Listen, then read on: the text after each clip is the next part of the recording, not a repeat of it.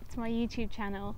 Today we've come to Priddy Pools and basically everything around us is super tiny. So what we've decided to do is use this reverse lens mount, test it out and show you guys some of the smaller creatures living about in this meadows that we found ourselves in today.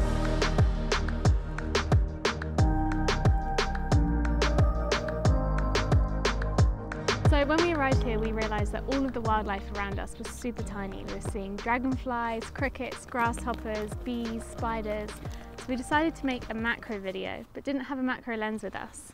But I did have this reverse lens mount in my bag. So what we're going to do is attach it to this Canon 50mm prime lens. Um, basically, you attach this side to the side that you'd normally use to take the photos um, and you literally just screw it onto the lens. And then pop that onto the camera. And then the other side this is the scary part because you have the sensor exposed. Um, but that's going to be what you're using to take the photos. And you screw this ring just onto the end like that. Super sensitive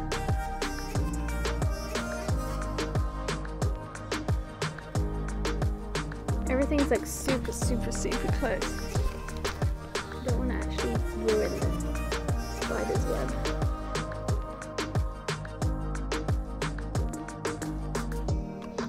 It's so sensitive. Definitely easier actually having a macro lens.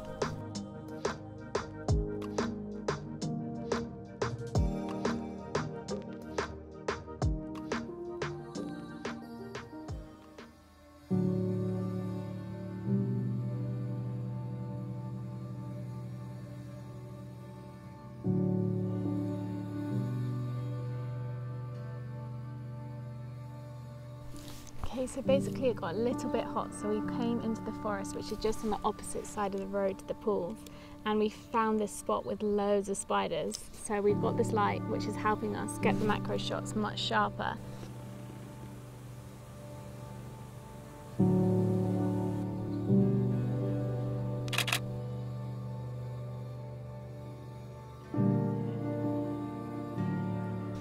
Basically, this lens is good, but because it's reverse mounted, you can't focus with it at all. So you basically have to rock your body back and forth to be able to focus.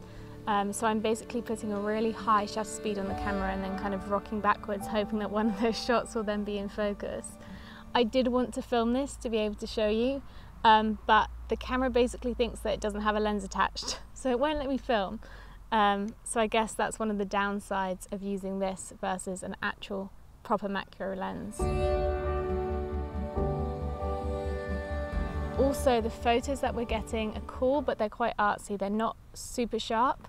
Um, they're focused on, say, like just a tiny bit of the spider or a tiny bit of the flower. Um, you can't really, with this reverse lens mount, get the whole spider in focus. So it's definitely not optimal, but this is about £10 versus what, how much is the 100mm macro for Canon?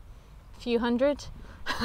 so it's the budget version, so you're going to have to expect to have bit of downsides, but it's pretty good. Behind the scenes. Thank you so much for watching. I hope you enjoyed this video. If you did, please hit that like and subscribe button, and I hope to see you on my channel again soon. Bye!